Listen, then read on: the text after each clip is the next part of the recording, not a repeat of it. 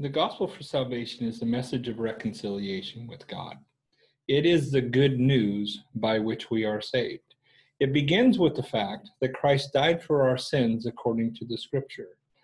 He died because the penalty for sin is death, and we needed a substitute. Therefore, Christ died in our place, the just for the unjust. He was then buried, which is proof of the fact that he died. He was then raised from the dead on the third day, according to the scriptures. His resurrection is very important because it gives proof to the fact that God has justified us before Him through Christ's substitution for our sins. Now, why would Christ do something like this? The reality is, God does not want anybody to be lost. It is God's desire that all men are saved and come to a knowledge of the truth.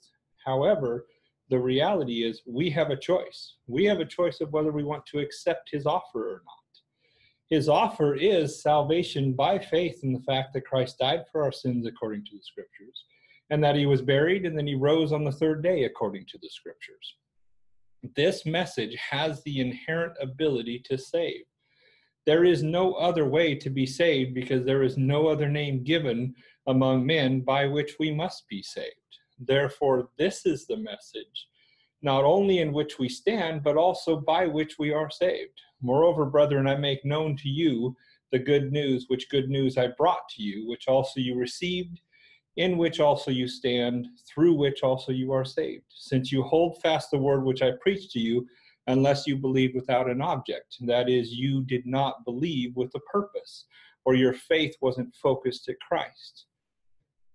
This salvation is offered by grace. Grace is God's attitude whereby he gives a benefit without consideration of merit.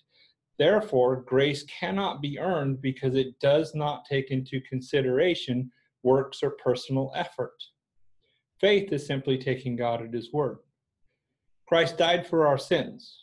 He was buried, and he was raised on the third day according to the scriptures. You believe this, and you will be saved. Will you believe God and be saved today?